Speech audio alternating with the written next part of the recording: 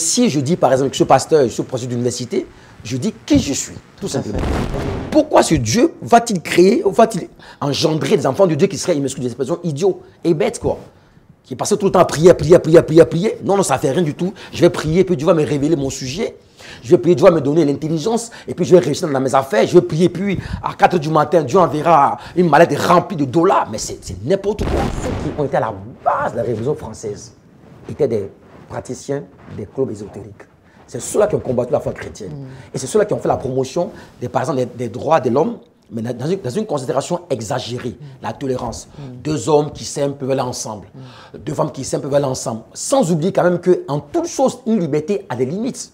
Vous voulez être averti en temps et en heure? Faites sonner la cloche pour recevoir vos notifications. Casarema, le canal qui te transmet la vie. Casarema la chaîne qui t'emmène dans la présence de Dieu. Alors, abonnez-vous massivement. Sa bienveillance. Mesdames et messieurs, bonjour, bienvenue sur Casarema. Nous sommes vraiment ravis de euh, vous savoir toujours aussi nombreux à suivre euh, vos émissions sur Casarema. Et aujourd'hui, nous avons vraiment euh, cet honneur de recevoir pour vous l'homme que vous avez suivi récemment sur Casarema, le documentaire parce que vous savez, hein, lorsque nous présentons notre CV, euh, nous présentons euh, euh, cette partie peut-être cachée que les gens ne connaissaient pas de nous. Alors les gens nous voient aussi d'une certaine manière, parce que deux fois on peut vous voir comme ça, oui, vous êtes pasteur, vous êtes professeur, ok, sans plus. Mais lorsqu'on approfondit sur votre personne, là les gens ils se disent, waouh, mais vous êtes une personne exceptionnelle. Et comment est-ce que depuis tout ce temps, vous n'en avez jamais parlé? Bon, c'est un homme humble euh, euh, euh, et, qui n'aime pas trop parler de lui. Ben voilà pourquoi nous, nous sommes là pour parler de sa personne, parler de ce qu'il fait, parce qu'il fait un travail quand même extraordinaire. Et dans le cadre de vraiment présenter son CV, qui est aussi le titre d'un livre de l'évangéliste Blaise Manzami qui sortira prochainement, nous avons voulu quand même vous présenter le CV de ce grand homme qui est apôtre du Seigneur, mais qui est vraiment un intellectuel magnifique et, grandiose, même en Afrique. Euh, euh, il est vraiment compté parmi les intellectuels en Afrique. Il est, euh, comme vous l'avez suivi lors de ce, de ce, documentaire, il est professeur dans plus de 11 universités à succès. Aujourd'hui, il est membre du jury de la CAMES, qui est, conseil, qui est le Conseil africain malgache de l'enseignement supérieur. Et là-bas, je peux vous dire que ce n'est pas n'importe qui en fait qui se retrouve dans, cet endroit-là. Et puis, il vote qui? Il désigne qui? Donc, il est là où on prend les décisions. Voilà pourquoi je dis sans arrêt que les chrétiens doivent être là où on prend les décisions. Parce que si les chrétiens sont là où on prend les décisions, nous n'allons pas subir les lois, mais au contraire, nous serons là pour voter les lois. Prenez l'exemple de Joseph. Et ça, c'est extraordinaire. Alors, c'est l'apôtre Gadji Abraham euh, que nous recevons aujourd'hui sur ce plateau. Donc, c'est vrai, vous l'avez vu, il était à Abidjan. Et là, il est à Paris. Bon, il a cette facilité-là de, se déplacer. Il est là pour euh, un événement déjà qui commence aujourd'hui avec euh, le bishop euh, Charles Agui Nassaré, ici à Paris, à trois rues de la Pointe. Et d'ailleurs, nous vous invitons massivement à être là présent parce qu'il y a des choses extraordinaires qui vont se passer. Bonjour l'homme de Dieu. Bonjour, Évangélise Mazambi. Eh ben, grande est ma joie de vous recevoir encore ah, sur ce plateau. C'est réciproque. Réciproque. Je suis content de vous retrouver après quelques mois et tout ça. Donc, merci infiniment pour l'invitation. Ouais, c'est super. Euh, dites-nous un peu, euh, apôtre, euh, qu'avez-vous pensé de de, de, ce documentaire où on parlait de vous? Je noterai sur, sur 10, je crois que ça, je, je mettrai 9 sur 10. Donc, c'est quasiment pas très bien, pas pas, très, bien, pas très bien, mais c'est excellent. Euh, parce qu'en 29 minutes, vous résumez la même personne. Et puis, euh, ma femme, qui n'est pas toujours très expansive dans des loges, j'ai dit, c'est très bien, hier, sur la regarder jusqu'à la fin. Ma fille aussi, qui est un peu critique, même chose, j'ai eu des réactions de tous ceux qui, à qui j'ai envoyé le message, enfin le partage euh, sur, sur WhatsApp et qui ont regardé m'ont dit, excellent, très bien. Bien résumé, ma personne, ma famille et le ministère. Très bien dit, c'est formidable. Franchement, euh, je pense que ce reportage doit pouvoir inciter d'autres hommes de Dieu à se rapprocher des Casarima, sans publicité, je ne dis pas, mais parce que c'est vrai. Vous savez, on a, on a en soi du, potentiel et il faut très souvent un média pour faire connaître au monde entier qui vous êtes. Et cette occasion m'a été donnée par, Casarema, je n'ai pas craché dessus, et ça a donné ce que ça a donné. Donc je crois que ce reportage était un reportage qui me ressemble parfaitement, et je rends grâce à Dieu pour ce travail excellent. Des images propres, des, des, des, des cadrages propres. Euh, filmer l'église, la maison, les frais de l'église, les témoignages qui n'ont pas été arrangés parce que je n'étais même pas là. J'ai découvert hier ce qu'ils pensaient de moi. Je n'étais pas là, je ne les ai pas choisis. Ils sont partis eux-mêmes comme ça. Franchement, c'était un, travail excellent, tout simplement. Gloire à Dieu. Ce qui est vrai, c'est que le temps était court, mais avec plus de temps, on aurait pu avoir encore d'autres personnes. Oui. Euh, mais en 29 minutes, c'est parfait. c'est parfait. Voilà. Et donc derrière, on peut dire que ce n'est pas un péché de, de, montrer qui nous sommes réellement. En, réalité, vous savez, euh, nous chrétiens évangéliques, un peu, un peu pentecôtistes, on, on, a, on a l'impression que ce n'est pas important de parler de soi. Mais, mais pourtant, c'est vrai, tout à l'heure, euh, le PDG euh, Blaise Mazambi en parlait, et il a dit ce mot que je connais, mais auquel je n'avais jamais pensé. Présente ton CV effectivement, quand Dieu dit je suis euh, euh, le Tout-Puissant, l'Alpha et l'Oméga, mais Dieu se présente. Quand Jésus dit je suis le chemin, la vérité, la vie, il se présente. L'apôtre Paul n'a jamais tari de louche parlant de sa personne. Mhm. Il dit je suis, je suis, je suis juif, je suis, je suis un, rabbin, euh, je suis disciple de Gamaliel, je suis citoyen romain. Paul a fait valoir ses droits et ses compétences. Et donc, effectivement, se présenter est une très bonne chose. Pourquoi? Mais parce que nous ne sommes pas dans la tête des gens. Et les gens ne sont pas dans nos têtes. Donc, ils ne savent pas ce que nous pensons, ils ne savent pas qui nous sommes. Quand on se présente, on a ce qu'on appelle en droit une présomption de qui nous sommes. Et quand les gens savent qui nous sommes, ils savent à peu près à qui ils ont affaire et peuvent nous accorder du crédit ou ne pas nous accorder du crédit. Donc, se présenter, ce n'est pas de l'orgueil, c'est dire ce que nous sommes. Un exemple. Je dis par exemple, l'évangile Blaise, pas Blaise, mais Lise Mazambi présente très bien ses émissions. Je ne suis pas en train de vous donner une appréciation négative. Je dis ce que vous êtes. Vous présentez très bien, ce n'est pas faux. Je pense que vous êtes certainement parmi ceux qui ont reçu certainement des, appréciations des autres. Donc, dire que vous présentez bien vos émissions, c'est dire ce que vous êtes. Et donc, le dire, ce n'est pas euh, de l'orgueil. Tout à fait. C'est dire ce que vous êtes. Et si je dis, par exemple, que je suis pasteur, je suis professeur d'université, je dis qui je suis, tout, simplement. Et eh oui, et ça c'est super. Alors, quel type de cours donnez-vous dans ces différentes euh, universités? Principalement, je, donne des cours de droit international public, notamment ce qu'on appelle l'arbitrage en droit international, en contention internationale. C'est très technique, l'arbitrage en contention internationale. Euh, je, donne, je, donne, aussi cours de droit économique, donc à Paris 2, à, Ouagadougou, à, Lomé, à Cotonou, à Brazzaville, à Libreville. Je donne ces cours là-bas. Et puis, bien sûr, à Abidjan et dans d'autres universités de Cocody, euh, comme Boaké également, je donne des cours de droit de l'environnement. Droit de l'environnement, droit au niveau international. Et puis, je donne de droit de l'homme et relations internationales. Donc, je donne trois cours, euh, principaux cours, c'est-à-dire euh, principales matières, notamment droit international public, l'arbitrage en droit international, euh, droit économique, aspect interne et aspect, les aspects internationaux, et puis droit de l'environnement. Waouh. Voilà.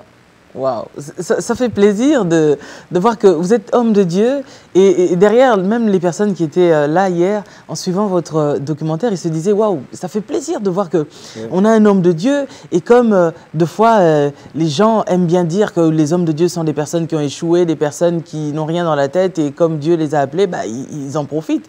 Mais là de voir quelqu'un qui a quand même un cerveau.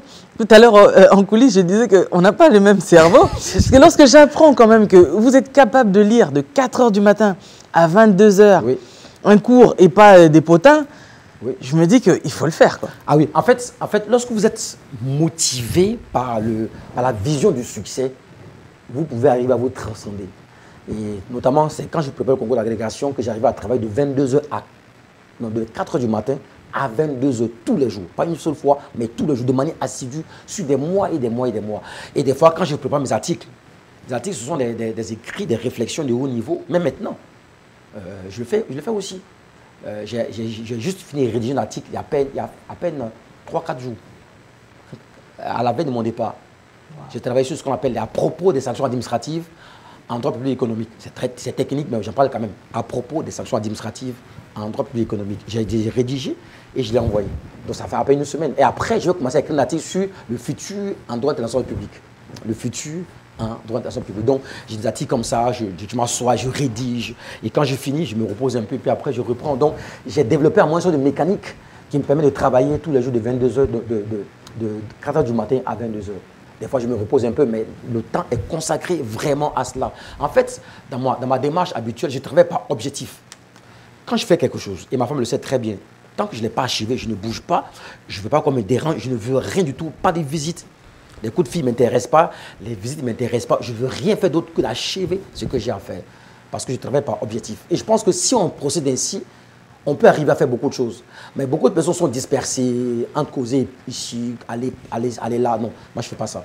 Si je dois écrire quelque chose, je m'assois, je, je, me concentre au maximum. Je peux dégager deux, trois, quatre semaines. Je ne bouge pas, je ne vais pas ailleurs, je ne rends pas visite. Le seul où je me rends, c'est à l'église. Quand je finis le culte, je rentre à la maison, je me repose, je travaille encore. C'est comme ça. Waouh Et donc il y a des bouquins derrière alors? Bien sûr. Ma chambre, elle n'est pas visitable. Ma chambre est non, les, bouquins de l'apôtre même. Mais, ah, maintenant, au niveau du ministère. Oui. Ah, oui Est-ce que vous avez déjà écrit euh, des bouquins? J'ai beaucoup de livres en attente. En fait, c'est déjà écrit, mais je dois les retravailler. Hmm. Bon, euh, vous voulez tellement que ce soit parfait? Oui, je, dois hésiter un peu parce que mon style d'écriture est, un peu, est un peu lourd pour le public chrétien.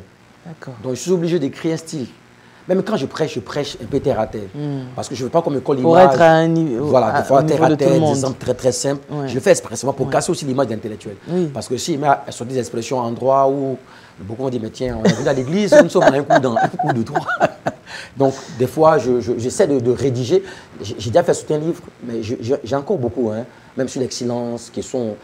On a annoncé 10 dans le reportage, mais en réalité, il y en a à peu, près 20. Et donc, dès l'année prochaine, je vais commencer à les faire sortir. Je, vais avoir quand même que des ressources pour faire sortir. Je peux sortir 5. Je peux sortir 5, livres par, année. Donc en, 5 ans, je peux sortir 25. Et donc je, peux, je pense que je peux écrire jusqu'à 70 livres. Je peux. J'en ai même pas 100, je peux arriver à 100 livres. Je peux parce que j'ai déjà une bonne partie euh, en stock. Et déjà écrit avec, avec, les, avec les, les grandes lignes, les, les, je de m'asseoir pour les rédiger en français accessible à tous. Mais est-ce qu'on peut vous présenter notre éditeur? Parce que lui, il aime les choses comme ça. Non, mais j'aimerais bien. J'ai un bon éditeur qui peut donc euh, éditer mes livres et ben, les commercialiser. Parce que, une chose, sans critiquer, les livres chrétiens sont très mal écrits. Hmm. Honnêtement, c'est pas du bon français, c'est terre à terre. Ah, mais lui, justement, il aime le français un peu trop. voilà. ça me met un peu mal à l'aise des fois. Bon. Mais on peut améliorer le style. Hmm, hmm. et on peut améliorer le niveau. Je pense que, je pense que dans le milieu chrétien, on a, on a, besoin des personnes qui nous poussent vers le haut. Mm. Et j'aime beaucoup Paul. Vous, savez, vous, êtes, vous, êtes, homme de Dieu, servant de Dieu. Quand vous lisez Paul, par exemple, vous voyez une différence Paul, vous voyez une différence entre Paul et, Pierre et Jean et Jacques dans le style. Hein. Mm. Paul a un style de démonstration. Mm. Un, style un peu. On, sent que c'est une personne instruite. Absolument, ça, ça, ça, ça Lisez Romain, par exemple. Romain est un livre de démonstration. Mais, mais, mais, vraiment, quand il parle de la justification, il démontre. il emploie la méthode dialectique même tout simplement. Il y a beaucoup de méthodes, hein, méthode mm. dialectique, il, pose des contraires, il, crée la, nuance, le, contraste entre la foi et la loi. Mm. Il montre pourquoi est-ce que la, loi n'est pas suffisante pour nous sauver. Il montre en quoi la loi est rattachée à la grâce. Il, il, convoque la vie d'Abraham qu'il euh, remet au jour. Mais Paul, Paul, Paul était présent aujourd'hui, serait professeur d'université tout simplement. Mm. Donc on a vraiment des hommes de la parole de Dieu où on a des démonstrations euh, puissantes en termes de réflexion. Et donc voilà, on a, on a, on a ces cas-là. Et donc il faut penser que les livres chrétiens doivent être, doivent être très bien écrits pour toucher un public d'un certain niveau, notamment ceux qui ont étudié, qui veulent aussi se rapprocher des Christ. Hmm. Voilà ce que je peux dire. Waouh, c'est excellent. Et, donc, euh, membre du jury, euh, vous votez qui? Qu'est-ce que vous faites là-bas? Est-ce que ça vous prend aussi beaucoup de temps? Oui, dans le jury du CAMES, d'abord, c'est un jury qui, qui comprend des professeurs de plusieurs pays et qui a vocation à attribuer les grades. Quand vous mais déjà, pour faire partie de ce jury-là, il faut quand même oui, bien sûr, un certain niveau. Oui, bien sûr, il faut, avoir le grade. Je suis professeur titulaire au professeur des universités, donc c'est le top niveau. Il y a quatre grades à l'université, même en Afrique francophone, quatre grades. Vous avez le grade d'assistant, ça c'est ce qui vient d'avoir le doctorat. Donc quand vous êtes docteur en droit ou en, économie ou en médecine ou en chimie, vous commencez au, plus, au, enfin, au niveau 1. Vous êtes euh, assistant. Et pourtant, il y a docteur, c'est un gros titre. Mm. Mais l'université, ce n'est pas grand-chose. Et après, vous passez maître assistant. C'est-à-dire, vous avez un niveau un peu plus élevé, mais, et après, vous passez maître conférence. Et ensuite, vous passez le, grade de professeur des universités, pour ce titulaire, c'est ce grade que moi j'ai. Et c'est ce, ce, ce, grade qui donc, vous permet donc de pouvoir être éligible euh, au niveau du CAMES Et on vous choisit en tenant compte de vos capacités, vous êtes proposé par l'université, et on vous choisit. Et vous faites partie de ceux qui maintenant, un peu comme un conclave, qui décident, après lecture des rapports, d'attribuer les grades à telle, telle personne. Donc, par exemple, ma voix peut compter. Si j'estime que le rapport qui a été fourni n'est pas convaincant et que j'estime que le travail fourni par tel, tel candidat, tel, tel pays n'est pas euh, un bon travail, je peux dire non, je ne suis pas d'accord qu'il soit euh, maître, assistant, maître conférence ou professeur. Je peux dire non. Et je peux expliquer mon argument et on peut en tenir compte. Donc c'est un vrai pouvoir de décision. Vous faites comment pour vous départager euh, à l'église et être Très membre bien. du Ça, c'est tout à l'heure, je vous disais que je travaille par objectif.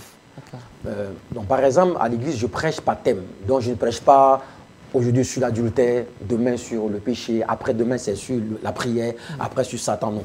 C'est organisé. Et donc, par exemple, je choisis des thèmes, soit 5-6 thèmes dans l'année. Et actuellement, je prêche sur la loi d'engagement avec ce qu'on appelle la nakazo. Comment convaincre des personnes à, à, conduire des gens à Christ. Donc, l'enseignement est déjà prêt, est déjà prêt pour toute l'année. Donc, j'ai octobre, novembre, décembre, je sais de quoi je vais parler. Waouh C'est fait. Donc, mes messages, je les prépare au quotidien et, je les prépare sur une longue période. De sorte que, sorte que je n'ai pas. Euh, si on me dit de prêcher maintenant, je sais de quoi je veux parler. Je sens maintenant je prêche. Donc, je ne cherche pas un message. Et c'est planifié. ce modèle, j'ai tiré de Papa Karambiri. J'ai fait trois années avec lui. Et lui, il prêche par thème. Il peut prendre un thème pour un mois, pour deux mois. Donc, j'ai trouvé que c'était une bonne méthode. Euh, comme sur, par chapitre. Et donc, quand j'ai mes messages, bien sûr, je prie par rapport à cela. Ça, c'est au niveau donc, de l'Église. Maintenant, pour l'université, tous mes cours sont saisis. Mes cours sont écrits. Mes cours sont écrits, donc des fois, je donne le fascicule aux étudiants, je donne la version numérique. Et quand je viens, je viens pour commenter, pour expliquer. Je dis, posez-moi des questions sur le cours. Et donc, je n'improvise pas mes cours. Mais ça, ça me demande un travail préalable. Donc, bosser longtemps à l'avance, préparer le cours et tout ça. Voilà comment je fais. C'est ce qui fait que je peux m'en sortir. Waouh Mais ça, c'est un, un, grand travail que vous faites là, de pouvoir associer cela avec euh, l'œuvre de Dieu. Oui, oui. En fait, j'appelle ça la double vocation. La double, la double vocation. Mm. Mon témoignage, c'est que quand j'ai répondu à l'appel pastoral en 1999, euh, je voulais démissionner. J'étais au ministère de l'Environnement de Côte d'Ivoire comme chargé d'affaires juridiques. Et j'ai préparé un 2A, qui est maintenant l'équivalent de master en droit. Et j'ai entendu la voix de Dieu me dire Tes et ton travail sont une bénédiction. J'avais aucun modèle, hein, j'avais aucun modèle de pasteur qui travaillait aussi. Le seul modèle que j'avais, c'est que le pasteur ne devait rien faire d'autre que de prier et puis, bon, prêcher la parole de Dieu. Et ce modèle-là que je voulais copier. Et quand Dieu, m'en est clair, m'a dit que ton travail et tes études, j'ai entendu de manière claire dans mon esprit, ton travail et tes études sont une bénédiction. J'ai compris qu'il fallait obéir à Dieu. Donc, j'ai j'ai décidé donc de ne pas arrêter mon travail et de continuer mes études ainsi. Et j'ai vécu ainsi jusqu'à maintenant. Et Dieu ne m'a pas dit d'arrêter mon travail non plus. En fait, j'ai compris plus tard que mon travail euh, était une bénédiction parce que finalement, quand Dieu m'a conduit à commencer une œuvre, je l'ai conduit, j'ai commencé cette, œuvre-là à l'université. Vous savez bien que les étudiants d'Afrique n'ont pas, pas, de bourse. Mm. Alors, si j'étais un pasteur qui devait vivre de l'évangile, je pense que ma femme m'aurait quitté. vous êtes femme mariée, vous êtes maître, de famille, je ne vous choque pas. Vous n'allez pas prendre la fille de quelqu'un mm. et lui dire, bon, on va prier pour voir si Dieu, vous, envoie à manger. Mm. Donc, il fallait que je travaille. Et je crois que la sagesse de Dieu a prévalu. Et Dieu ne m'a pas dit d'arrêter. Maintenant, j'ai compris pourquoi est-ce que Dieu voulait que je fasse les deux à la fois. Il voulait que je sois un modèle. Et j'ai compris qu'aujourd'hui, beaucoup de pasteurs, aujourd'hui, du moins en Côte d'Ivoire, sont inspirés de mon modèle. Il y a des pasteurs médecins, des pasteurs avocats, des pasteurs magistrats que je connais dans mon église. Tous les pasteurs travaillent. Hein. Il y a des pasteurs DG, pasteurs magistrats, euh, hommes d'affaires, tous. Et donc, chez moi, à Ebenezer, tous les pasteurs travaillent. Ingénieur comme statisticien, travaille. Délégué médical. Mais vous avez une onction spéciale Je pense que j'ai. Mais je ne suis pas le seul. Vous connaissez Dag, Dag, Dag, euh, Dag de, de, euh, du, Ghana. Il a dit dans son église, 95% des pasteurs chez lui travaillent. Il a plus de 300-400 églises. J'ai compris que je ne suis pas le seul à pratiquer ça. Et donc, en fait, euh, Madame Lise Banzambi, c'est une stratégie. Moi, je crois que dans les temps qui arrivent, Dieu va tirer ses enfants, ses serviteurs dans tous les milieux, dans tous les milieux sociaux pour toucher des gens à ce niveau. Par exemple, moi, je peux prêcher l'évangile à un professeur d'université, facilement, il m'écoutera. J'étais récemment à Limoges, je donne, je, donne, je donne, une conférence à Limoges, et j'avais été invité par le professeur Michel Prieur. Michel Prieur, c'est le pape du droit de l'environnement. C'est la référence absolue en France et dans la francophonie en droit de l'environnement. J'ai dit la référence absolue. Ce, monsieur a conçu la matière. Il s'appelle Michel Prieur. Allez sur Internet, Michel Prieur, comme prière, pri- prieur. Et on, en, déjeunant, on échangeait.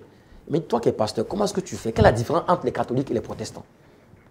Il sait que je suis pasteur, il sait que je suis professeur d'université. Et j'ai dû lui expliquer la différence. Je dis par exemple que les protestants et les évangélistes s'appuient uniquement sur la parole de Dieu, sur la Bible. Les catholiques prennent en compte la Bible, mais aussi les traditions. Bon, tout, tout simplement ça. Et il voulait savoir davantage. Je lui ai expliqué la voie du salut. Un professeur émérite ici en France, avec qui j'ai échangé sur le salut. Mais je lui dis, il, il peut m'écouter. Parce que justement, bon, j'ai. Il a de la considération pour vous. Tout simplement. Donc, je crois que c'est un type de personne qu'on ne pourrait jamais toucher. Si on n'a Si- pas un certain niveau. Absolument. Et je prêche à mes collègues, à mes collègues euh, professeurs, je, je prie pour eux. Et je prie pour eux régulièrement. Et dit, bon, toi tu es pasteur aussi, prie pour moi. Et puis je prie pour eux. Mais ces personnes ne vont pas dans une église parce que ce n'est pas le milieu. Et je crois que Dieu veut le faire aussi bien avec moi, mais aussi avec les magistrats, avec les avocats, avec les, les journalistes, les communicateurs, les informaticiens. Si on comprend que la stratégie de Dieu, c'est de faire en sorte que sa parole parvienne à tout le monde, alors on ne va pas dire à un pasteur, arrête tout ce que tu fais parce que tu es consacré. Je ne comprends pas ce terme consacré. Nous sommes tous consacrés sur ce que vous faites comme travail. L'église de Mozambique, vous êtes servant de Dieu, mais complètement. Alors si on vous dit, arrêtez euh, d'être à Casarima, soyez évangéliste. Il y a des gens que vous ne toucherez pas du tout. Et je pense que la sagesse de Dieu est en train de prévaloir. Quand on lit la vie de non comme, comme, comme Daniel, Daniel était un éminent. Dans le chapitre 1, verset 17, verset 18, Daniel a été trouvé dix fois plus intelligent que tous les sages et les savants de Babylone. Et Daniel est resté homme d'État, ministre, conseiller de, Nebuchadnezzar, de Belshazzar. Mais Daniel était un prophète de haut niveau. Il fait partie des prophètes majeurs. Quand vous lisez Apocalypse, comme disait Daniel, vous avez les parallèles. Daniel a vu la bête avec 10 cornes, déjà, avant, avant, avant Jean.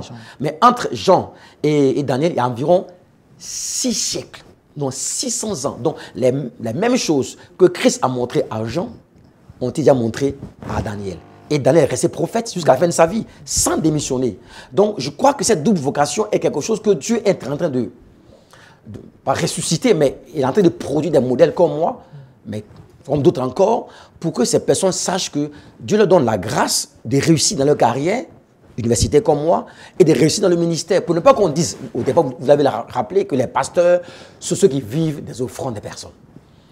Et ce sont, ce sont les sensus. Et ils ne font rien de bon. Ils passent le temps à prier. Franchement, quand vous avez affaire à un professeur d'université qui est pasteur, votre langage change un peu.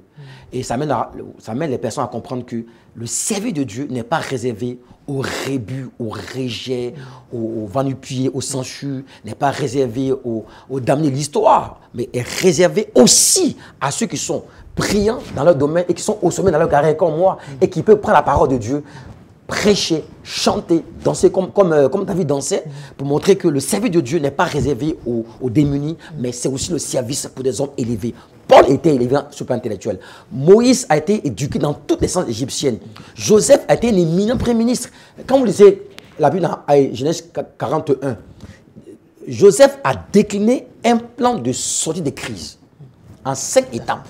Trouver la personne qualifiée, trouver un plan d'épargne à, à- à 20%, il est démontré, je pense, scientifique, que si un homme économique peut épargner 20% de ses ressources, il devient riche. Daniel a appliqué. Daniel a appliqué la méthode, ce qu'on appelle la décentralisation. Faire en sorte que, au niveau des provinces, il y ait, il y ait des gouverneurs ou des préfets ou les maires qui gèrent les ressources. Il a développé la stratégie de ce qu'on appelle les banques, de, les, les banques, les, banques, les, banques, les, banques, les banques vivrières. Donc, Daniel a, pas Daniel, Joseph a, dé- a dé- a déployé ou a développé un plan en cinq étapes qui sont appliquées aujourd'hui. C'était, brillant. Mais vous avoir euh, euh, dans un gouvernement, par exemple, euh, ça serait pas mal faire Oui, si on m'invite oui, si on m'invite maintenant, je, je- je réfléchirai, mais je ne dirai pas non. Parce que je pense qu'il ne faut pas seulement être un pasteur qui prêche. Comme je suis intellectuel, je peux servir l'État euh, à un niveau, euh, la tâche qu'on me confiera. Euh, J'ai la compétence, je suis professeur tutélaire de chaire.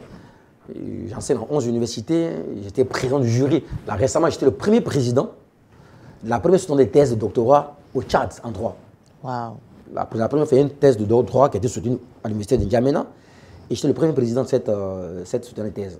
Bon, je veux dire, on a des références quand, on enseigne à Paris 2, quand on est euh, associé à, Laval, à l'Université de Laval au Canada, qu'on enseigne, quand on donne des conférences à, Limoges, qu'on enseigne dans toutes les universités francophones. Bon, on a les compétences. Donc, vous êtes la continuité des, Joseph, de Daniel Oui, je pense qu'aujourd'hui, le même Dieu qui a donné l'intelligence à Joseph, à Daniel, n'a pas changé.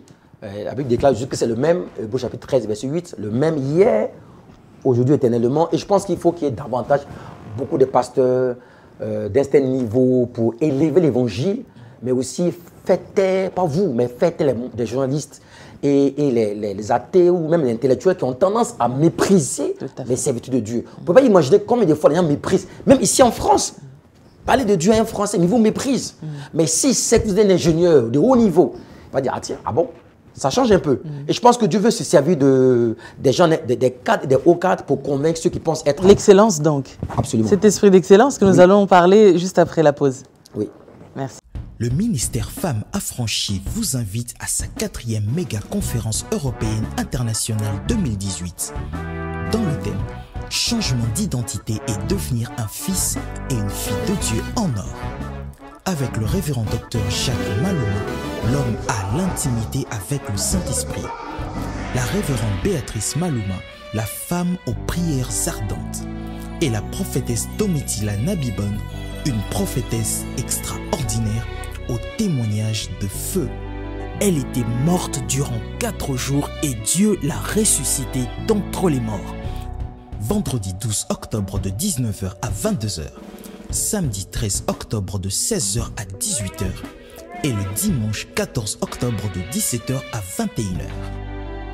L'événement aura lieu au siège de l'église Parole de Grâce, au 24 rue Jules Vallès Pierrefitte sur Seine, 93 380 à Paris tout contact, appelez au 06 68 74 86 11 ou au 06 51 88 46 77 ou écrivez-nous au contact femmeaffranchie.com.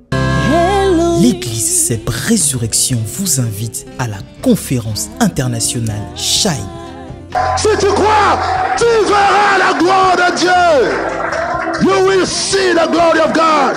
You will see the power of God. You will see the manifestation of the mighty God. Cinq jours de conférences de feu, de puissance, de démonstration de la gloire de Dieu. Cinq jours de miracles, cinq jours de guérison, cinq jours de délivrance avec comme thème le Dieu des conquêtes. Avec des hommes de Dieu extraordinairement puissants. L'apôtre Douglas Kionjeka de la France, l'apôtre Flarin Kanto de la République démocratique du Congo, le prophète Jean Toto Chabani de la République démocratique du Congo et le docteur Micho Mundala du Canada le mercredi 31 octobre de 18h à 21h30, le jeudi 1er novembre de 18h à 21h30 le vendredi 2 novembre de 18h à 21h30, le samedi 3 novembre de 17h à 20h et le dimanche 4 novembre de 10h à 14h.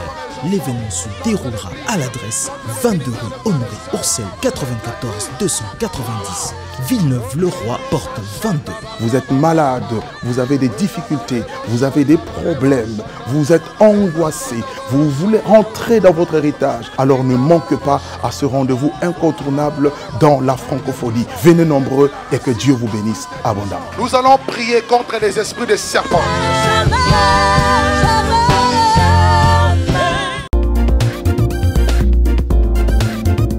Nouveau, Capem Paris, désormais en Côte d'Ivoire. Pour tous vos envois de colis vers l'Afrique, Capem Paris, le roi de toutes les agences, est là encore pour vous satisfaire. Ici, il y a du boulot Kitoko. Voilà Capem, la rapidité est notre devise. Capem Paris, ouvert du lundi au samedi de 9h30 à 19h. Au 53 rue Championnet, 75 018 Paris. Métro, Clignancourt. Contact 01 46 06 69 26. Capem Paris, Mokondi Agence.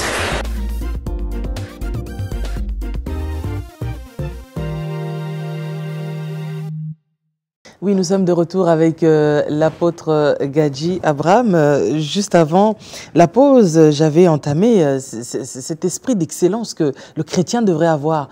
Et, si nous, chrétiens, nous sommes excellents dans tous les domaines, eh ben, l'évangile sera un peu plus fluide quand même. Oui. Dans Genèse chapitre 1, verset 28, quand Dieu crée l'homme, il dit qu'il domine. Il domine les trois espaces.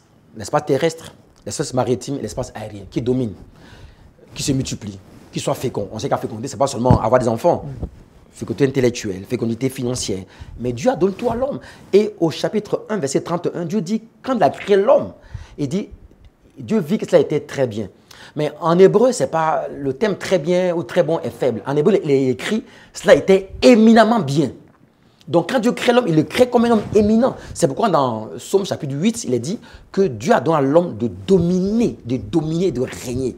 Et donc, l'esprit d'excellence est inscrit depuis la création dans l'homme. Regarde ce que l'homme fait. Capable de pouvoir concevoir des caméras, d'aller sur la Lune, de lancer des appareils, des, espaces, enfin, des appareils sur Mars, d'explorer euh, la mer, explorer l'espace, euh, créer l'avion, c'est extraordinaire. Ça, c'est l'intelligence que Dieu a donnée à l'homme. Ça, même l'homme non régénéré est intelligent. Ça veut dire qu'à la base, Dieu crée l'homme pour qu'il soit intelligent. Maintenant, en Christ, on est renouvelé. Mais malheureusement, un type d'évangile a voulu penser que, croire que l'intelligence n'est pas compatible avec la foi, mais c'est du mensonge. Et ça me choque quand j'entends les hommes de Dieu prêcher contre l'intelligence, contre, contre, les étudiants. Je, dis, mais ils sont, sont qu'est-ce qu'ils racontent là? Il y a même une phrase qu'on sort très souvent que ce sont les amateurs qui ont créé, qui ont conçu euh, l'arche de Noé. Qui a survécu et les experts ont créé, ont conçu le Titanic qui n'est jamais arrivé. En, en d'autres termes, il faut être amateur pour créer les choses. Mais je suis désolé, mais c'est être idiot. Dieu était Dieu d'expertise. Bessalel était expert. C'est écrit noir sur blanc dans Ézode chapitre 35. Il était, il était brillant. Dieu lui a donné l'intelligence pour concevoir, concevoir des plans. C'était un architecte, en même temps, un orfèvre. Il était intelligent. C'est lui qui a conçu le tabernacle, Bessalel.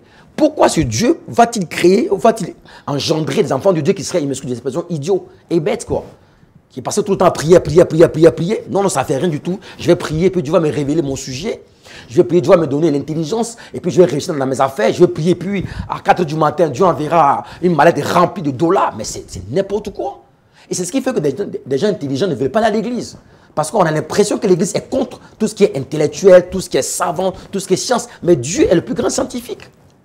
Alors, donc je pense qu'il faut que cette mentalité change. Et puis chez nous, tout est spirituel. Mais non le Saint-Esprit n'est pas seulement spirituel. Ésaïe chapitre 11, verset, verset 2 dit, dit l'esprit d'intelligence, de sagesse, de connaissance et de vaillance sera en nous. Le Saint-Esprit donne cette capacité-là. Et donc, vous voyez qu'on peut arriver à l'excellence parce que Dieu même est un Dieu excellent. Et voilà pourquoi que je crois qu'on doit davantage prêcher cela aussi, pour que ceux qui doutaient ne puissent plus douter. Je dis quelque chose de très important. Si on continue à banaliser tout ce qui est, tout ce qui est expertise, tout ce qui est science, tout ce qui est intelligence, on pourrait créer des problèmes à nos enfants. Je pense que on, doit, on doit être capable de concilier foi chrétienne et intelligence. Parce qu'aujourd'hui, dès qu'on parle de science, euh, ah, on, commence tout de suite un peu à vous voir. Euh, oui, parce que justement, dans le milieu scientifique, il y a très peu de chrétiens. Et peu de chrétiens y sont entrés. Mais plus on, voit, on verra des chrétiens qui sont euh, des personnes qui étudient à un haut niveau, qui, qui travaillent à un haut niveau, les gens auront envie de croire quand même que la science fait partie de ce que Dieu a donné à l'homme. Le potentiel de l'homme, c'était de dominer. L'homme est le maître et possesseur de la terre. C'est Dieu qui lui a dit domine la terre. Somme chapitre 8. Et l'homme domine la terre comment? Mais pas la science. Tout simplement. Donc on doit encourager les chrétiens à, faire, à, à aimer la science. Quand je parle des sciences, je parle des sciences humaines, je parle des sciences exactes, je parle des sciences juridiques, sciences physiques, sciences mathématiques, sciences informatiques, sciences de la communication, mais tout ce qui est science, tout ce qui est raisonnement, tout ce qui est cognitif, on doit absolument encourager les chrétiens à y entrer. Parce que là, on peut amener la foi dans une dimension qui va prouver qu'en Christ, on a aussi l'intelligence. Mais la Bible dit que dans les derniers temps, euh, l'intelligence, elle va s'accroître, elle va augmenter. Oui. Mais c'est comme si chez les chrétiens. Oui, elle diminue. Voilà. le fait de chercher à, augmenter sa connaissance, ben, c'est comme si vous avez euh, envie de rentrer dans des pratiques et on a l'impression que les personnes qui ont beaucoup plus de connaissances ne sont que des personnes qui sont dans des. Euh, dans les, clubs ésotériques. Voilà. Mais ça fait partie, euh, Élise Mazambi, je crois pour moi, de tout mon cœur, c'est une stratégie du diable. Faire passer les chrétiens pour des idiots, des gens peu instruits, qui, sont, qui peuvent faire Alléluia, chanter, prier, et les autres, les plus brillants, les, les- les informaticiens, les, les pilotes, les- ah, et tout ce qui fait la science, les juristes, les avocats, enfin les autres, eux, c'est, ce sont les vraies personnes, quoi, les vrais gens qui réfléchissent. Les autres, eux, ils prient. Ouais. C'est un mensonge. Est-ce que vous savez que l'un des plus brillants scientifiques ou philosophes de France s'appelle Pascal? Pensez, Blaise Pascal. Il a écrit un livre qu'on appelle Les Pensées. Pascal était un, croyant fervent, un protestant, mais fervent. Pascal a posé une hypothèse simple. Il a dit ceci à ses, à collègues euh, philosophes. Il dit si je crois en Dieu, je ne perds absolument rien. Si je crois en Dieu, que je trouve plus tard ma mort, après ma mort, Dieu n'existe pas, je n'aurais rien perdu. Si je ne crois pas en lui et que Dieu n'existe pas, je n'aurais perdu. Mais s'il existe, je perds tout. Donc en clair, croire en Dieu et le suivre, c'était à lui, c'était émané plus de Dieu aux gens que quand on se donne au Seigneur, on ne perd absolument rien. Et Pascal a écrit les pensées, il appelle l'infiniment grand et l'infiniment petit. Pascal était un savant. Écoutez, un croyant. Il y a d'autres croyants comme Karl Jesper, qui étaient aussi euh, des chrétiens euh, croyants et engagés. Mais vous voyez, que, pour revenir à l'actualité au niveau de la France, par exemple, ceux qui ont été à la base de la Révolution française étaient des praticiens des clubs ésotériques. C'est ceux-là qui ont combattu la foi chrétienne. Et c'est ceux-là qui ont fait la promotion, des, par exemple, des, droits de l'homme, mais dans une, considération exagérée, la tolérance. Deux hommes qui s'aiment peuvent aller ensemble. Deux femmes qui s'aiment peuvent aller ensemble. Sans oublier quand même qu'en toute chose, une liberté a des limites. On le sait très bien, la liberté commence, s'arrête là où commence de l'autre. Donc finalement, je dis que le fait que les chrétiens soient absents des débats intellectuels a donné l'occasion aux païens de dominer. Un ami, un ami, un collègue professeur, on déjeunait il y a un an, deux ans en arrière, il m'avait posé une question.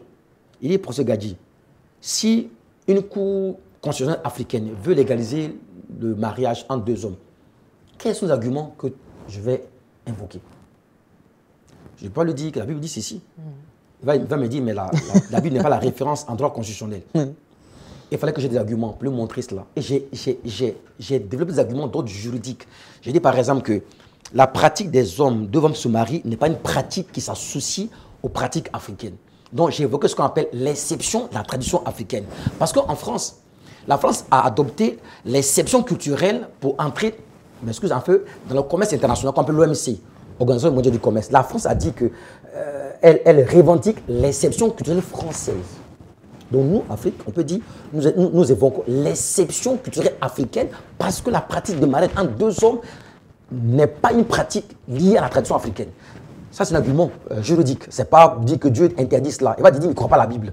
Donc, vous voyez que dans ce milieu, il faut avoir des arguments pour, pour, pour contrecarrer cette position. Quand on me dit, par exemple, qu'une femme peut, parce qu'elle a droit à disposer de son corps, qu'elle peut faire l'avortement, c'est très bien. Mais cette femme-là, c'est un être humain. Elle a le droit à la vie. Et donc, elle dispose de son corps. Mais en même temps qu'elle dispose de son corps, est-ce que ça lui l'autorise à, à porter la mort à un enfant qu'elle porte, qui lui est innocent? Non. Donc, même, là, même le droit à l'avortement est une aberration. Je m'explique un peu plus de manière plus posée. On dit la femme dispose de son corps, elle peut donc commettre, enfin, commettre un acte d'av- d'av- d'avortement. Très bien. Mais en même temps, c'est une contradiction. Parce qu'en même temps, on dit que le droit à la vie est consacré. La vie commence quand? À la fécondation. Donc on ne peut pas dire qu'une femme qui a le droit à, la, à, à disposer de son corps peut s'autoriser à tuer notre corps qu'elle porte. Contradiction. Donc, dans les débats de droits de l'homme, il y a beaucoup de contradictions comme ça. Mais pour avoir accès à des tribunes et parler, Il faut être là-bas. il faut être là-bas, il faut être intellectuel. Vous n'avez pas, dit, vous n'avez pas vous n'avez pas seulement dit la Bible interdit euh, de tuer l'homme. Il va, il va te dire, mais je ne crois pas à la Bible. Il faut avoir un argument supérieur à ce qu'il dit comme, donne comme argument. C'est pourquoi les chrétiens doivent être présents partout, dans toutes les sphères, en droit, en économie, en sciences, en mathématiques. On doit y arriver.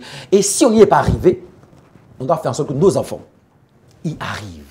C'est une question de bataille. De, de- vous voyez, il y a ce qu'on appelle la pensée unique. Et ça existe. Hein, J'emploie un terme, par exemple, ce qu'on appelle la diplomatie des droits de l'homme, qui consiste à appliquer les droits de l'homme partout, même quand il s'agit des droits euh, pour des, je dirais, pour des entre des hommes. Mais on, on applique ça à fond. Et quand vous résistez, on vous dit, on vous dit vous êtes conservateur, donc de manière négative.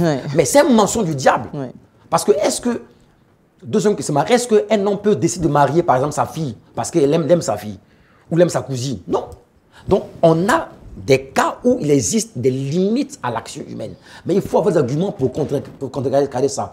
Pourquoi je Donc Dieu n'est pas contre tout ça. Parce que si, si nous, si nous retournons par exemple à, à Joseph, nous verrons que pour, arriver, pour accéder en fait euh, euh, euh, euh, à la maison royale, enfin, aller vers le roi, devenir Premier ministre. Il y a eu l'intervention, euh, on va dire, d'ordre spirituel. Dieu a dû intervenir euh, pour lui en tant qu'homme de Dieu, un homme de Dieu qui euh, donne l'explication des songes. Mais une fois arrivé auprès du roi, il y avait cette intelligence qui devait Waouh, agir ça. pour euh, euh, donner la solution au problème, en fait. euh, Parfaitement. Non, euh, Évangile, euh, Lise, vous dites quelque chose de très important. Je vais lire le passage. C'est- Je ne le connais pas que, mais je vais quand Donc il y a même deux aspects quand même Deux d'intelligence. hein. Et là, beaucoup de personnes s'arrêtent sur le fait que euh, Joseph ait, ait juste interprété le songe. Ouais. C'était pas ça seulement. Il est allé au-delà. Le, le pharaon demandait un homme qui allait interpréter son songe. Dès lors que Joseph avait fini d'expliquer son Il songe, fallait donner la solution. voilà. Et Pharaon ne s'attendait pas à la solution. Joseph a donné la solution. Il dit premièrement, un, que Pharaon établisse, que Pharaon choisisse un homme sage et intelligent. Deuxièmement, qu'il établisse des commissaires dans le pays. Ça, c'est ce qu'on appelle la décentralisation. Qu'il prélève un cinquième des récoltes. Ça, c'est 20% d'épargne. Troisièmement, euh, qu'il rassemble les produits. Ça, c'est maintenant créer des banques de données. Et, et- et- et sixièmement, qu'il crée un, un réseau d'approvisionnement entre les villes. C'est formidable. Voilà les 6-7 points qu'il a développés. Et ça, c'est tout un plan économique. Donc, il ne s'agissait pas seulement juste d'interpréter le songe. Il fallait maintenant proposer la solution. Pharaon et l'Égypte, à l'époque, étaient quand même une grande puissance. Il y avait quand même des savants en Égypte. Personne n'a pensé à cela. Et Joseph pense non seulement à expliquer le songe, mais dit voici comment on fait, on fera pour sortir de la crise. Mais Pharaon dit, mais attends, on cherche qui encore? Ben, C'est toi. Donc si Dieu choisir. était contre ces choses, il allait euh, laisser euh, Joseph interpréter le songe et, chercher quelqu'un d'autre pour donner tout. la solution. C'est tout. Et vous avez la réponse. C'est pourquoi on doit encourager les chrétiens de tout beau à ne pas juste se contenter de prier, de gêner, à travailler, à lire, et à, à lire à fond. Prenez, je m'adresse à vous, prenez vos études au sérieux. Il y a beaucoup de jeunes chrétiens à l'université échouent énormément. Parce qu'ils passent tout le temps à prier, à chanter, à, à jeûner. Ils ne bossent même pas. Et ils pensent que Dieu, par euh, une opération du Saint-Esprit, il viendra leur révéler les sujets. Il y en a qui prient même pour avoir des sujets, des sujets révélés. Donc, vous, comprenez que quand dans ce, dans ce piège-là, on est dans la on est dans la médiocrité. Et je suis d'accord avec vous qu'il faut vraiment encourager euh, euh, l'ex- l'excellence qui, qui se définit comme étant euh, la qualité de ce qui est supérieur, comme étant les actes représentants d'une chose. Or, quand Dieu nous crée, il nous crée pour qu'on manifeste la supériorité. Dans quel domaine? Dans trois domaines, ou, dans, ou dans- plutôt dans quatre domaines. Dans le domaine intellectuel, dans le domaine spirituel, domaine économique, domaine politique. Ce sont, ce sont les, les- on appelle ça les quatre sphères du pouvoir. Les quatre sphères du pouvoir. Le pouvoir économique, le pouvoir politique, le pouvoir intellectuel, le pouvoir spirituel. Donc, pour être influent, il faut, sur les quatre pouvoirs, avoir au moins deux ou trois. Faut avoir le pouvoir euh, spirituel, ça ne suffit pas. La, plupart des hommes de Dieu, et vous le savez très bien, qui sont les plus influents, ont le pouvoir spirituel, mais ils ont le pouvoir économique. Ils sont influents parce qu'ils ont les ressources importantes pour accomplir la vision. C'est pourquoi les pasteurs américains sont toujours les plus connus. Ils ont les grands moyens. L'onction qu'ils ont, nous, on a ça. hein. Mais la différence nous, euh, c'est qu'on n'a pas les moyens qu'ils ont. Donc, on les connaît partout.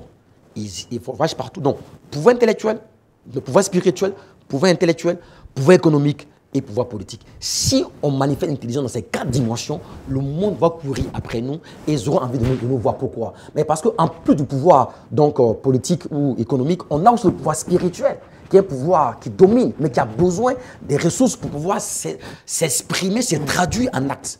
Or, nous, chrétiens, Mais Dieu nous l'a démontré, il a réparti corps, âme, esprit. Très bien. Mais ce sont des choses qu'on ne, on ne pratique pas tout le temps et qu'on ne connaît pas tout le temps. Et, et même, même là encore, c'est quelques personnes qui, qui essaient d'en parler pour qu'on soit libéré de cette euh, pensée que, en tant que chrétien, il suffit de prier. Et puis, beaucoup disent Jésus revient. Moi, je vois beaucoup de messages sur Jésus revient, mais je ne lis même pas. Pourquoi je ne lis pas? Pas parce que je ne crois pas que Jésus revient. Mais avant qu'il revienne, qu'est-ce qu'on fait? On fait quoi? Il revient, on fait quoi?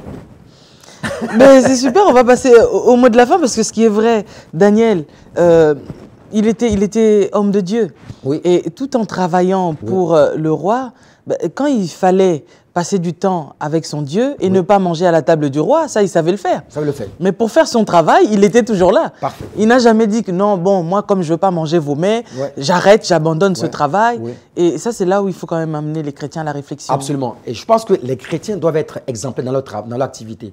Euh, il y a 3-4 ans arrière, les étudiants de la maîtrise en droit, euh, ils m'avaient fait, fait une surprise. Savaient pas. Je, je suis, je arrivé pour le dernier cours de l'année. Et puis, c'était organisé. Euh, il y a un qui avait la main, après, je veux parler. Il a parlé, la classe levée, comme ça, clamé. Après son sortie, m'ont m'ont offert un cadeau. J'ai fait pleurer. Je dis, mais pourquoi vous faites ça? Il dit, tu as été, le meilleur professeur de cette, année. Il dit, pourquoi? Parce que vous venez souvent avant l'heure, vous partiez après l'heure. Et des fois, quand vous venez en retard, vous rattrapez votre retard. Ça m'a touché. Et ça me touche, je suis pasteur. Quand je, parte au, cours- quand je vais au cours, même si quand je viens, en- parce que des fois je viens en retard à cause d'embouteillage, mais parce que des fois je dépose les enfants, mais je rattrape mon retard. Des fois, je fais des, des- coups de rattrapage samedi pour dire, comme j'ai raté 3, 4 heures, je viens faire le coup de rattrapage, posez-moi toutes les questions, je vous réponds. Finalement, qu'est-ce que je fais? Par mon témoignage, par mon parcours, euh, les gens s'intéressent à Christ et je suis sollicité. J'ai 50 personnes qui font leur thèse avec moi. 50 personnes. 50 de thèse. Il n'y a pas de mémoire, hein. doctorat avec moi. Doctorat. Il y en a en France ici, il y en avait au Canada, il y en a au Bénin, il y en a au Burkina Faso, il y en a en Côte d'Ivoire, il y en a aussi au Gabon. Mais pourquoi? Mais parce qu'ils voient que je suis rigoureux, je suis sérieux et je ne, je ne, prof- par exemple, je ne prêche pas pendant, pendant mon cours, je ne prêche jamais en amphi. Parce que ce n'est pas le temps, pas l'heure de prêcher. je dispense mon cours et puis après je m'en vais. Si une personne veut parler avec moi de foi, je parle de foi avec, avec, avec, avec la personne. Parce qu'il faut pouvoir serrer les choses. Des fois aussi, on est tellement zélé que pendant, pendant le du travail, on lit la Bible. Et c'est pourquoi les gens n'ont pas envie de, nous écouter. Bref, on doit montrer du sérieux dans tout ce que nous faisons pour que le monde sache que nous sommes à Christ par le produit de nos œuvres. Voilà.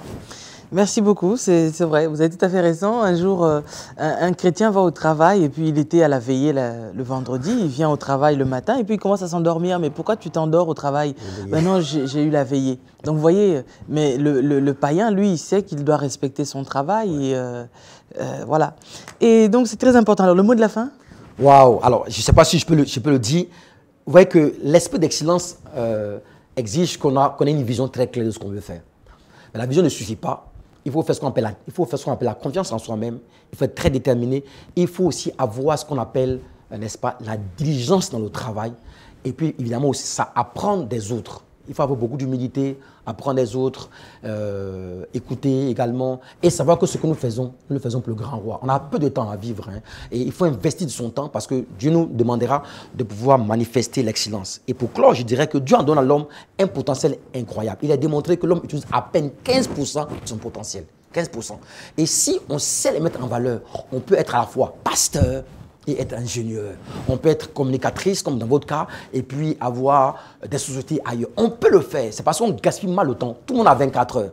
Maintenant, si on sait gérer le temps, on peut être d'une efficacité très rare et faire en sorte que le standard de Christ en nous soit rendu visible. Ma prière, c'est que les chrétiens qui suivent cette émission aspirent au meilleur, aspirer à ce qui est excellent. Propos dit, aspirer aux dons les meilleurs, aux dons spirituels, c'est vrai, mais aussi aux, qualités, aux qualifications, aux, grandes études, à, la richesse, à la prospérité. Envoyez vos enfants dans les meilleurs lycées, dans les meilleures universités. Demandez-leur à atteindre le niveau le plus élevé. À un moment donné, on va chercher des experts, et comme ils sont experts au niveau technique, et qu'ils ont en eux l'esprit de Dieu, ils feront la différence. Je crois une chose, si le message d'excellence est répandu, plusieurs chrétiens vont rechercher et dans notre, dans notre pays, que ce soit en développement ou ici en France, ils feront la différence, non seulement à cause de l'expertise qu'ils ont en eux, mais à cause de la qualification spirituelle qu'ils vont manifester. Ainsi, Dieu sera glorifié. Je vous remercie.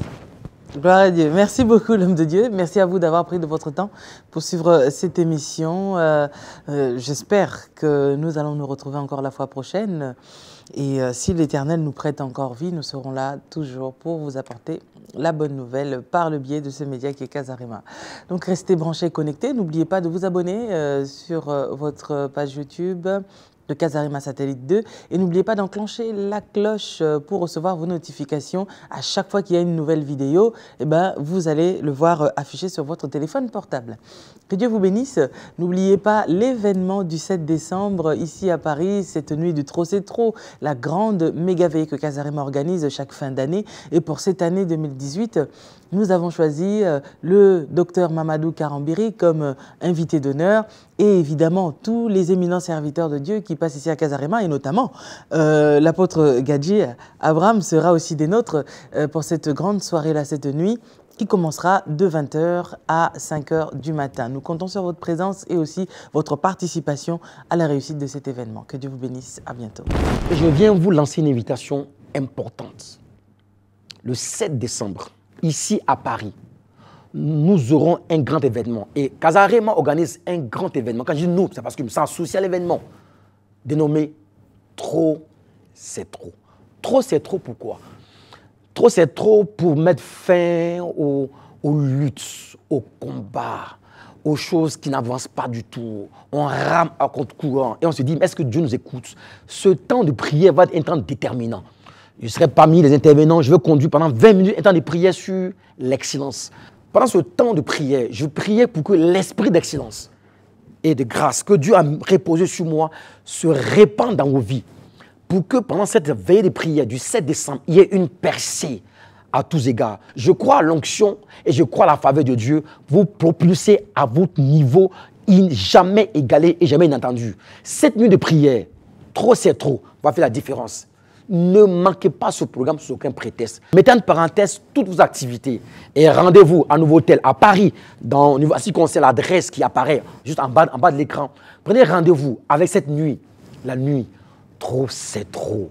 C'est un challenge extraordinaire, un challenge de foi, un challenge de percée spirituelle, un challenge de monter à un niveau supérieur, un challenge de grâce et de faveur. Votre vie ne sera plus jamais la même. Parce que je crois quelque chose l'onction qui est sur la vie des orateurs sera transmise et sera, sera donc communiquée. Et cet événement vous changera parce que nous aurons des hommes et des femmes de qualité. Vous aurez l'apôtre Mondou Garambier, le père de la francophonie qui sera là. Je vous le promets. La connexion avec des hommes du d'un niveau, niveau supérieur va vous challenger. Ne ratez pas cet événement-là. Il n'est pas à rencontrer, il est à vivre. Rendez-vous 7 décembre ici à Paris pour, le, pour la fête des prières. Trop c'est trop avec Kazarima. Que Dieu vous bénisse et à la prochaine fois. Pour votre édification spirituelle, suivez des puissants témoignages, des puissantes prédications, des puissantes prières en live, des émissions chrétiennes, des clips top gospel. Abonnez-vous dès maintenant sur notre nouveau compte YouTube Casarema Satellite. La Bible dit que vous devez vous entretenir par des psaumes, des hymnes, des cantiques spirituels, chantant et célébrant de tout votre cœur les louanges du Seigneur. Dès à présent, abonnez-vous sur notre chaîne YouTube Casarema Satellite 2. Vous serez alerté en temps et en heure de chaque nouvelle vidéo. C'est très simple. En un clic, vous êtes abonné.